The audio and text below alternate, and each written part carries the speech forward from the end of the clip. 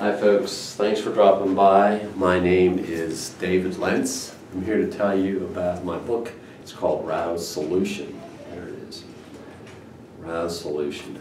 Uh, I wrote it in 2014 and pretty much went to market in 2016, in the summer of 2016. Since then, we've had the presidential election. As a matter of fact, uh, President Trump was inaugurated yesterday. So this is being videotaped in January of 2017. Um, I wrote Rao's Solution, uh, not even being aware when I wrote it of Mr. Trump's political uh, ambitions, uh, but I find that kind of amusing. And if you read the book, you'll you'll sort of see why I find that kind of amusing. Uh, perhaps I was a little more prescient than I, I, thought I might be, but, but the reason I wrote the book was uh, several years ago I wrote a book called Law Lawyers in Your Case. I'm a lawyer by training and, uh, and profession. And uh, I, uh, I also uh, have a, a, a, graduate degree in business and I've taught at the university level in some, at some business schools. Uh, so in any event, but when I was writing the book on lawyers, uh, there was a chapter in it, there was going to be more than a chapter on settlement of legal cases, and the discussion was going to center around uh, how you value, come up with a settlement value for a case. Well, I started thinking about risk, and I decided that that was a subject that needed to be separately treated but I was never really satisfied with what I was coming up with, but I did come up with a hypothetical in my own mind that became the basis for this TV game show, which is designed to basically totally uh, even the playing field between the rich and the poor, give everybody an equal shot at winning, uh, and uh, see how risk affected how the participants played the game. And uh, I, in the process of that, uh, I think that basically the book points out some of the reasons why we have this widening wealth gap and why capitalism, despite the fact that it is probably the best economic system on the face of the planet, like all things that are man-made, it has its flaws, and uh, it has the structural flaw that the, the book, I think, if the, if the point made in the book is taken to its logical conclusion, would demonstrate that ultimately capitalism will ultimately lead to oligarchy, government by just a few, powerful rich people, or even monopoly, you know, a super wealthy person. And if you look at what's going on with uh, some of the, like, the internet is being dominated by fewer and fewer parties.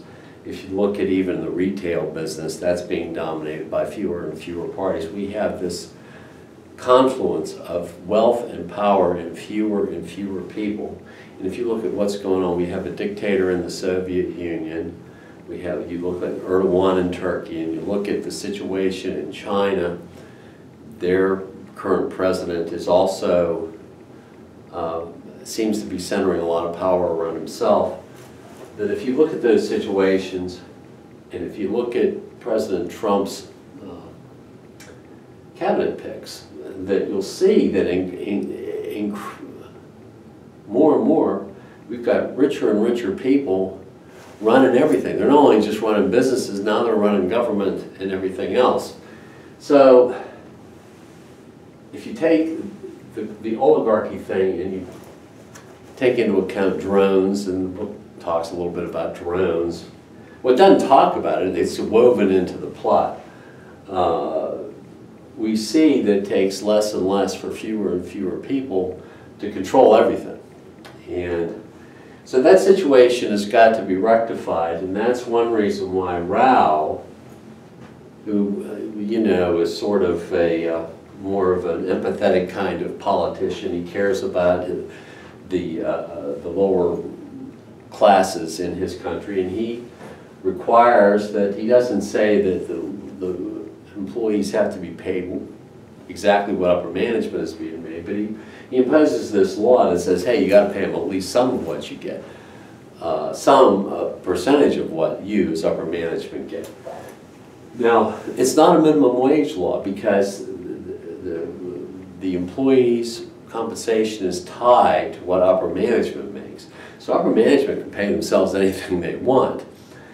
But if they do, they've got to sort of also boost the earnings of the lower paid employees. Uh, anyway, the book is interesting because there's an assassination plot. This, this rogue CIA agent tries to come back to New York and he runs to see this love interest that he has with this girl who happens to be a game, the, one of the first game show participants who just so happens to fall in love with the, the, the main protagonist of the book, uh, who is this television show's producer. And he's got a college-age kid who is involved in a fraternity that they seem to be out carousing about and up to no good. It's worrying him to death. He's having marital problems. He falls in love with one of these contestants who also, uh, and, and this contestant, just oddly enough, happens to be from the country uh, that Rao is trying to implement these new wage laws in. Um, but the book deals with all these issues and it talks about uh, how how Rao's wage law would be uh, would impact international trade and moving jobs overseas and whether that would you know help solve that problem.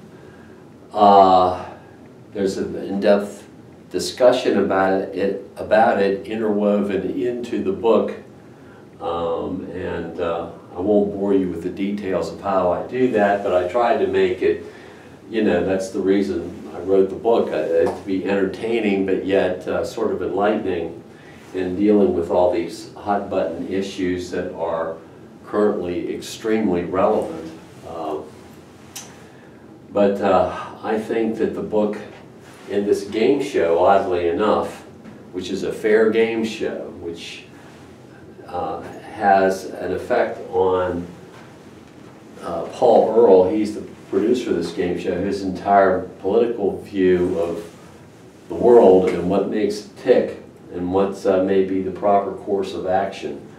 Uh, because it has a profound effect on him, this, this very simple game show. Uh, and the, uh, the outcomes of the game show, I tried very, very hard to make very realistic and very, very fair.